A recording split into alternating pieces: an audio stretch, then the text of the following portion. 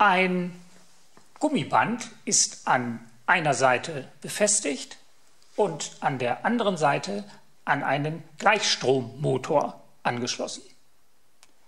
Der Gleichstrommotor wiederum wird mit einer Wechselspannungsquelle betrieben und diese hat eine variable Frequenz. Und wenn ich die Amplitude aufdrehe, sieht man, dass der Motor hin und her wackelt und das Gummiband zu Schwingungen anregen kann. Und unter gewissen Umständen, wenn also die Wellenlänge zur Seillänge passt, können sich hier Eigenschwingungen ausbilden. Denn grundsätzlich entsteht hier eine stehende Welle. Die hier angeregte Welle wird am festen Ende reflektiert und hier kommt es zu einer Überlagerung der hin- und herlaufenden Wellen.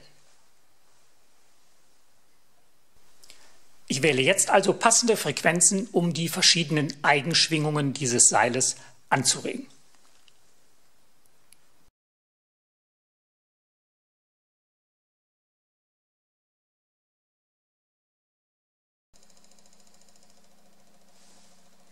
Hier sehen wir die Grundschwingung,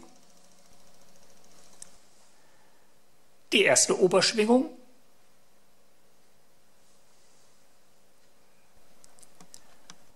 die zweite Oberschwingung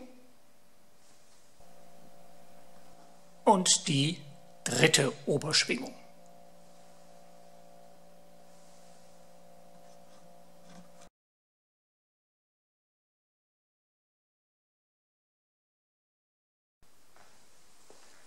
So, jetzt habe ich die Spannung im Seil und damit die Ausbreitungsgeschwindigkeit geändert.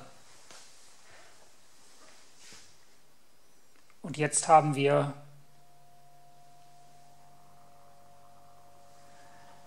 bei 47 Hertz die erste Oberschwingung.